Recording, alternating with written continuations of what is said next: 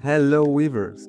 Do you want to learn how to build your own brand workflow? One that would also generate social media assets? So this is the tutorial for you. I'll be happy to guide you through this pretty complex workflow. We'll go over it briefly and then we'll dive into details. Also, I would make it available for you to duplicate to your files and explore in depth. All right, so let's take a broad look at the end result here. We can see a few of the social media assets um, different aspect ratios, same product, same background, same title, style, same logo. Of course, we could take it a step forward and use video models to animate. But for now, let's keep it at that. Social media posts at different aspect ratios. Now let's explore how it's done. Examining it from afar, we can see we're starting to build a brand in this area. We're having logos over here at the top, colors over here in the middle, some assets over here, and titles over here. And at the end, we combine them all for some social media posts. Let's examine it in some detail.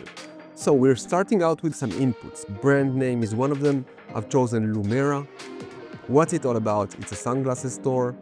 Target audience prefers refined design over loud logos. Colors are black and white. And there's an image reference for a style that I like. So these are the user's input. Next step is the prompt concatenator.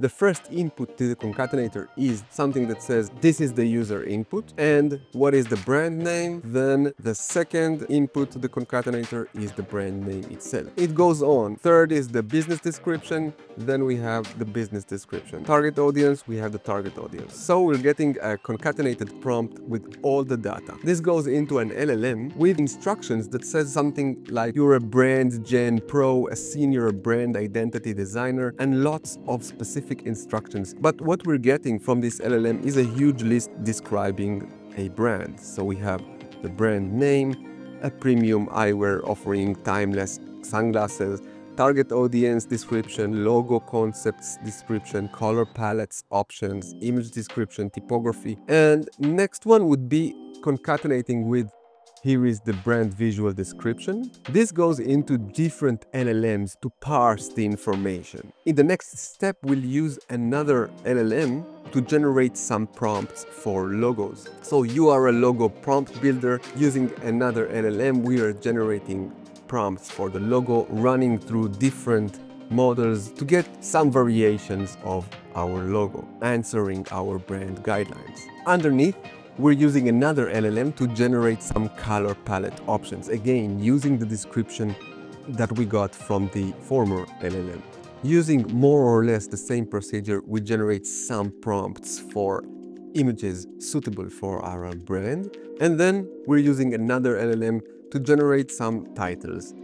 In the next step, we're importing our real product, removing its background, using a compositor to put it side by side with my generated images and then asking GPT to switch between the glasses is doing amazing work. Now, after I'm happy with this result, I'm using a compositor to add the title and the logo that I've generated and then using Flux Kontext in order to generate some variations on aspect ratios. So this is the entire workflow. I think the interesting part will not be to use it as it is, but actually to dive into the prompts that are making the prompt to generate the logos, the colors, the images, the titles, etc., and making them your own. As I said before, I'm going to share this workflow with this video. I hope you will find it useful. And as always, please join us to our Discord to ask questions during our office hours or just in the help desk. See you soon.